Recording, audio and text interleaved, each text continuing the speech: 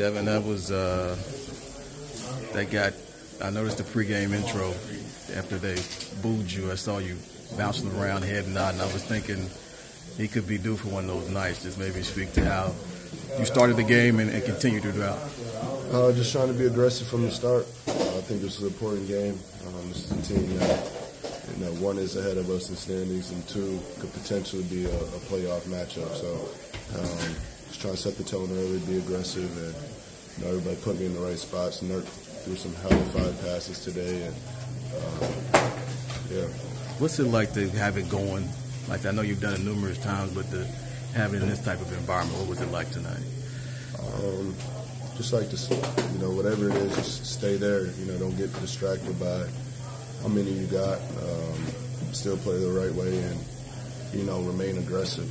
Um, but I think we got a lot of open threes off of me being aggressive early and then them starting to double team and pass out of it and get open looks on the backside. This is the first, um, like you've had, you had two 20 point quarters. You obviously had it in the 70 point game. Did you feel that 70 was in reach for you? Uh, I mean, I'll never put it out of reach. Obviously, closest arena to Moss Point. Yeah. Did you have uh, people here? Oh yeah, I got 50 folks out there. I'm about to go see them now. So, you know, that's where my main motivation comes um, from all my family that's here, and you know, they drive over every time I play here, and I, uh, you know, I like to put on a show for them. Right. I mean, it must have been really gratifying that you, you know you had it going early with all those people watching, and also just a huge crowd in general. Yeah, them folks, you know, they've been watching me. They watched me grow up, so you know, since a kid, and then supporting me all the way through high school. And like you said, this is the closest arena. It's 90 minutes from my high school, and you know, everybody makes the trip. Did you make any kind of eye contact with them during the game? After 50, I looked up at my dad and my, and my grandpa. What were they? Were they? Keep going. Keep going. Did they wave back to you or anything? Or Yeah, they they see me look up there. They sit. They've been sitting in the same place too for the past nine years. Here. Yep. Same seats here Yep. every time. So you've made it the point to make sure that they have those seats in particular. Uh, I mean, they're not the best seats. but, you know, they yeah, they're behind the bench, probably like 15 rows up. Yeah. how, how the game went for um, the Pelicans. They said, you know, you knocked them off their heels early in the game, and you know they really couldn't make a run after that. Is that kind of how you thought the game went? Uh, yeah, after our last game, you know, we were down 20 points in the fourth quarter, and you know, we were fighting an uphill battle the whole game. We eventually won, but you know, we didn't want that to be the case tonight. Um, we just said play, play at the start of the game how we played the fourth quarter last game, and we'll be in good shape. You knew Willie was going to try all kind of defenses tonight. Yeah. Just maybe speak to how you guys adjusted each time and to be able to still score.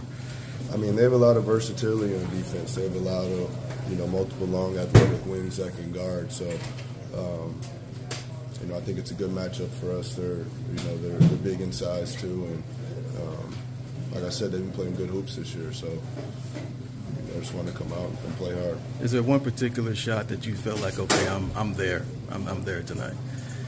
Mm, it was the first one. It's probably like, yeah, I just.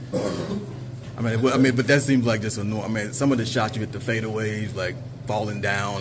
Maybe I thought maybe one of those might be the signal for you. There was a tough one too, where you got really nailed for a three-point play. You know, it was a drop. Oh yeah, yeah, yeah, yeah, yeah. yeah. Uh, nah, another. You know, I made those shots before. It's not, you know, just one in particular. Right. Offensively, we know how much of a juggernaut this team is. But Coach said tonight one, might have been one of your best defensive performances of the season. To talk about how locked in the guys were on that end of the court.